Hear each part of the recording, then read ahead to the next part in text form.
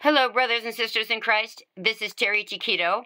It is 420 of 23, and I make this video in the name of the Lord Jesus Christ and for his glory only. So I'm here to do an update on the warning that Holy Spirit had given me on 4 9 23. At 4 9 23, Holy Spirit showed me lights out, power outages, and this is the warning. Hello, brothers and sisters in Christ. This is Terry Chiquito. It is 4 9 of 23, and I make this video in the name of the Lord Jesus Christ and for his glory only. This is a warning at 9:21 p.m. Holy Spirit showed me lights out. Warning, warning, warning.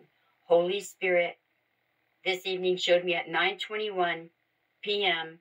lights out, power outages.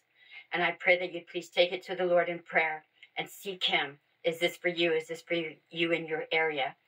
And then I would encourage you to please check your supplies food, water, medical supplies, blankets. Do you have what you need in case an emergency to be able to take care of yourself if help can't get to you right away? And I would encourage you to please heed the warning when Holy Spirit gives the warning lights out, power outages. His word does not fall to the ground, and He's giving warning. And I pray that you would heed it. So God bless you all. Be safe in Jesus' name. Bye bye. That was the warning. And then um, from 415 until today, I have a list of states that experienced some power outages Arkansas, Missouri, Florida, Texas, Louisiana, Tennessee, Michigan, California, and Oklahoma and they all experienced some power outages. Not the entire state, but certain portions of their state experienced some power outages.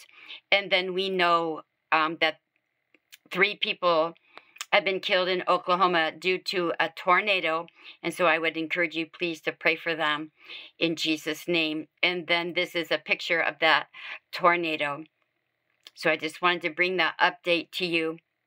And encourage you to continue to watch the weather and be safe.